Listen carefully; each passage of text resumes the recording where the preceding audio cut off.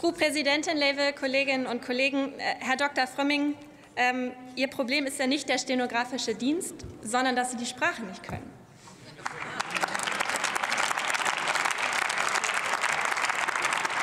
Ich, ich, will, ich will jetzt wieder zu Pladütsche äh, was switchen und Mut was zu Anbeginn singen. Ähm, mein Sprach, ich jetzt schnacken, do, schnack ich sonst ähnlich mit min Öllern an der Ombrodstisch. Wir schnacken nicht über Politik so viel, aber ich muss sagen, das sollte wir vielleicht mehr mocken. Und eigentlich sagt man nicht See in Pladütsche, wir, wir siezen nicht, wie duzen. Ähm, und das mache ich natürlich nicht, Frau Präsidentin, ähm, das mache ich aber hier auch gern mocken. Ich freue mich ganz, ganz doll, dass wir diese Debatte heute führen können. Vielen Dank an alle, die dort zu beitragen haben, dass wir das mocken können. Nicht nur, um mal so ein Betten Stimmung in diese Parlament zu bringen, das ist auch manchmal wichtig, Johann, ähm, sondern weil das ein wichtiges Thema ist. 2018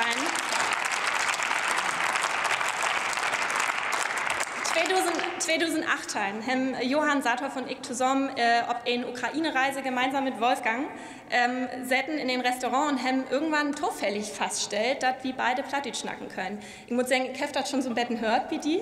Ich kann diese wunderbare Ostfräsenplatt nicht schnacken, ich komme aus Nordfriesland. Ähm, aber wir haben uns verinbord, wie, wie kicken mal, was wir dort in ein Parlament machen können.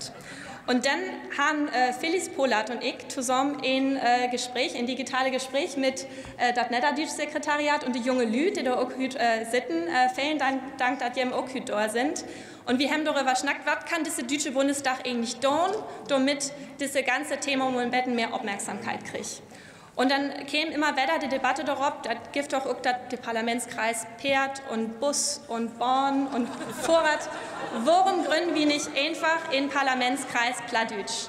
Und das haben wir mockt. Und ich bin froh, dass wir das mockt haben. Und ich bin froh, dass wir im Parlamentskreis Minderheiten haben, die Stefan und Denise gründen haben.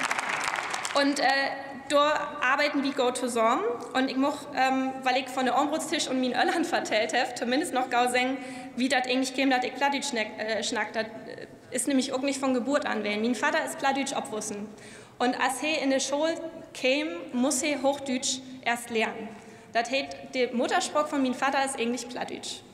Und dann gibt das diese Tiet in der Generation von meinen Öllern, wo sagt, wo ähm, schnack mal nicht mit jemme Kinder, schnack mal nicht Plattdeutsch weil das ist vielleicht noch ein Nordel. Und wir haben vorhin in der äh, Kreis wie jem äh, hört, dass das Studien dafür gibt und jem kennen sie all, dass die äh, Zahlen ganz anders sind. Nämlich äh, je mehr Sprachen, je mehr Einflüsse Kinder kriegen, je mehr unterschiedliche Perspektiven sie dort auf der Welt haben, desto besser.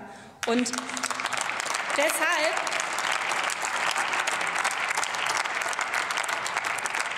Und äh, deshalb es bei uns natürlich an der Westküste und auch äh, in Kanför damals in ähm, Ostküste ähm, in, ähm, in Pladütsche Vorlesewettbewerb. Und ich habe die an der Schule gewonnen und dann in den Kreis aber ja, aber dann käme das Problem. In den Kreis habe ich verloren. Und dann die Jury, die Jury fragt, woran hätte denn das liegen? Und dann haben sie gesagt, man hört, dass du das nicht schnacken da ist, Tuhus.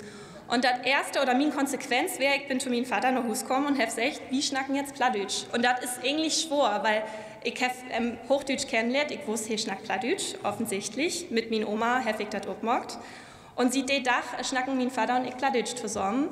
Und ähm, deswegen kann ich auch Plattdeutsch nicht abschreiben. Deswegen steht hier hochdeutsche Begriffe und ich versuche das jetzt irgendwie simultan zu übersetzen.